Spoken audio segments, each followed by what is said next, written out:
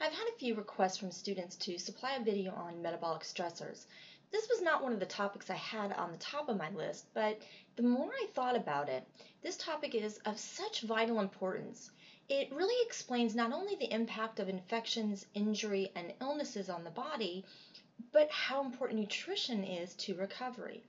So in this video, we will discuss what metabolic stressors are and how the body responds to those stressors. In another video, we will further the discussion to include the importance of nutrition through this process. What is an acute metabolic stressor? Well, I like to think of the stressors as the three I's, infection, injury, and illness. Being acute stressors, they are short-term occurrences that wreak fairly extreme consequences on the body. So we're not talking about the kind of stress you feel when faced with an exam. These are pretty severe physical demands on the body.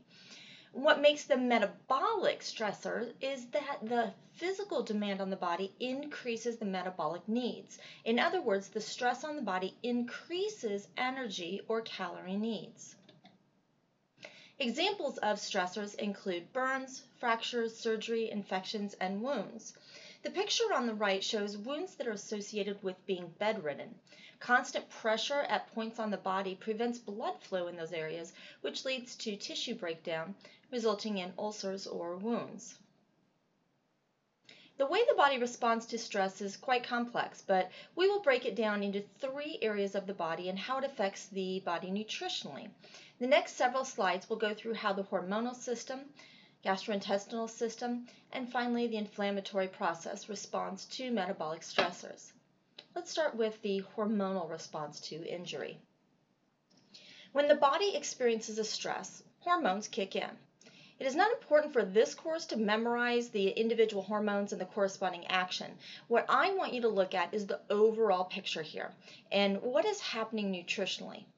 We see hormones causing breakdown of glycogen stores to release glucose into the bloodstream. We see degradation of protein to convert amino acids into glucose. We see fatty acids being broken down and released into the blood. And then sodium in water is retained.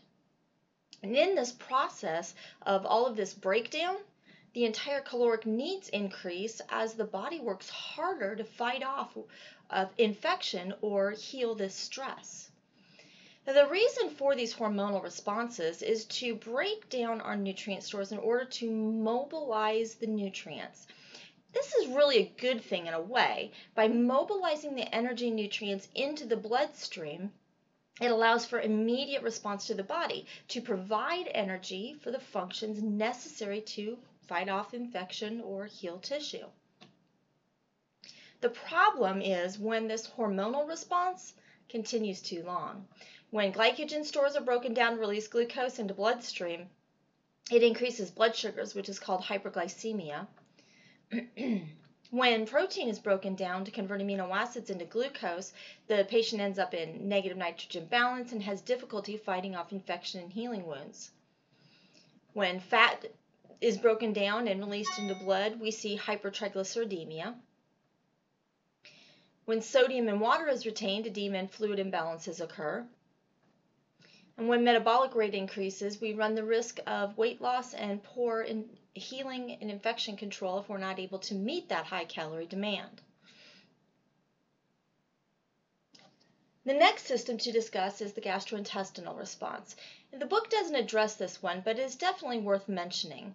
Due to some of the hormonal and blood vessel changes that occur in response to stressors, we can see declining gastric motility.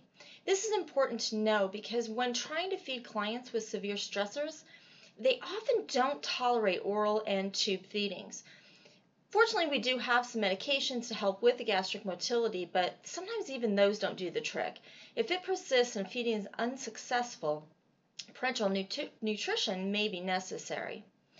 In addition, ulcers are more likely and absorption can decline. Worst of all is the immune response. As you recall from earlier in this term, approximately 70% of our immune response is secreted from intestinal cells. With decreased blood flow to and from the GI tract, immune response can be impaired. Let's switch gears and look at the inflammatory response. The immune system responds quickly to signs of injury. The response serves to contain and destroy any infectious agents that may enter the body, to prevent tissue damage, and allow healing. Let's use this picture from the book to talk about how the body responds. In this case, the stress is a splinter, much less of a stress than we will see in a hospital, but it illustrates the point rather well. When the tissue is damaged, it signals an immune response. You can see the mast cells producing histamine to attack the bacteria, but there are several processes occurring that are not quite apparent in the graphic. The first is that the blood flow of the small vessels increase to the area impacted. Vessels dilate and allow more blood flow through it. That should make a lot of sense because we want to get the immune factors, nutrients, and blood clotting factors to this area quickly. So the increased blood flow makes sense. In addition, the permeability of the vessel walls increase.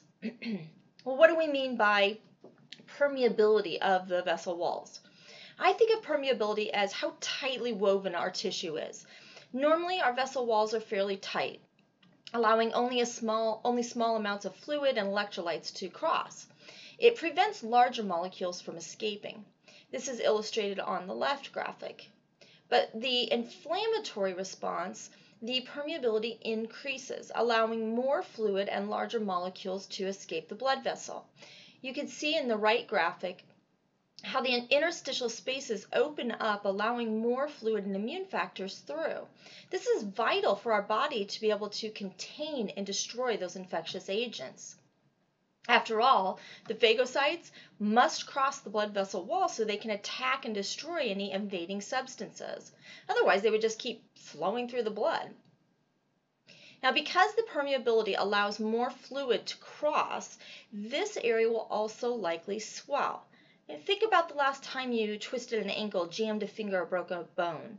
What was the first response you noticed? Swelling. This is explained by the inflammatory response, including increased blood flow and increased vessel permeability. You may also see a reddened area on the skin if there's a cut or opening. This is your immune system in action, attacking and destroying foreign substances. In addition, the small vessels leading away from the area constrict, preventing blood flow back toward the rest of the body. This should make sense because if any bacteria or viruses enter the body, we do not want them to get any further than this immediate area of the body. While all of these responses are imperative to destroy infectious agents, prevent further damage, and heal the tissue, can you see how this might become a problem if it lasts too long? After all, we're, we are rerouting blood flow in the body. In addition to the localized effects we just discussed, there are system-wide effects as well. In the early minutes to hours after the stressor, the body undergoes several changes referred to as the acute phase response. We see an increase in blood clotting factors and C-reactive protein, which is our measure of inflammation. This is followed by muscle catabolism due to the breakdown of protein necessary for glucose production and tissue repair. It results in negative nitrogen balance and, and potential wasting. Not surprisingly, we will see decreased albumin, the main serum protein, iron, and zinc in the blood. As mentioned several times, initially these responses are very important to treating the stressor, but long term the effects can be catastrophic for the body. Following a stressor, the body tissue and stores are broken down to mobilize nutrients. Metabolic rate rises, blood flow is rerouted, and immune and blood clotting factors increase. With severe stressors that last too long, these hormonal and inflammatory responses can lead to shock and multi-organ failure. This graphic depicts two different routes of long-term consequences of severe stressors. In pink is a condition called SIRS, an acronym that stands for Systemic Inflammatory Response Syndrome. SIRS is a result of severe trauma, burns, surgery, or illness that is not controlled. In the blue is sepsis, brought on by uncontrolled infection. The only difference between SIRS and sepsis is the stressor that caused it. The effects are both the same. It affects respiratory rate, heart rate, body temperature, and white blood cells. It can eventually lead to shock and multi-organ failure. Although multiple organ failure can affect organs very differently, it usually affects the lungs, then the heart, kidneys, and GI tract. Again, this is not likely to occur in simple problems like a sprained ankle or splinter.